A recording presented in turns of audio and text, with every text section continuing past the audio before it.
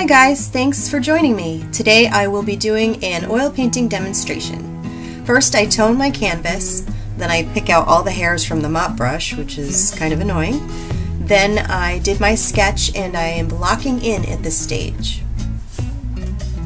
Just filling in all of the color, it doesn't really have to be perfect, it just goes in and it, it goes in so quickly it, it does look like the ugly stage. And it's a little scary at this point but you just have to have faith that it's going to come together.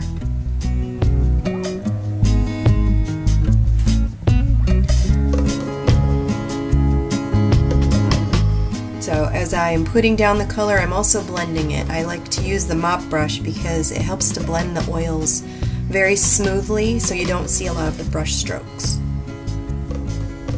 Now I'm going back over it and I'm adding more lights and more darks, which is something I do periodically throughout the whole painting. Now I'm going to be doing some nose detail here, adding some highlights to the nostrils, putting in more darks and then more highlights with the nose.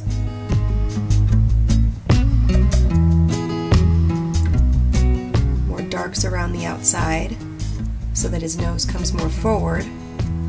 And then I had put the background in, but I did not film that. Unfortunately, my camera was shuts off because it's just a small Sony camera and it doesn't have a lot of battery life, so.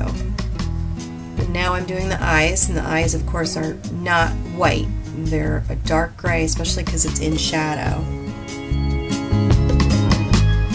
And here I wasn't quite satisfied with the level of depth, so I added more white into my paint to make the nose come forward more and then I glazed over with a, an orange color and now I'm just adding more details more white to the uh, stripe and the reason why it went white on top here is because I was still unsatisfied with the level of depth and I decided that I needed to do more glazing. In order to do more glazing I had to reset the baseline tonal value there so that the whites were whiter or the lights were lighter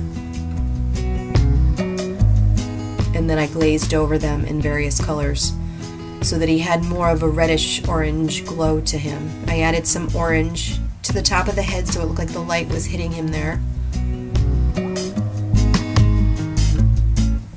And then I went back through and started working on more of the detail work. Which is the final stage. Working on the nose area, the muzzle, with his whiskers, and then adding more contrast and more texture to the sofa that he was resting on. Well guys, that's pretty much it. Thank you so much for joining me, and if you enjoyed this video, please press the like button and feel free to subscribe.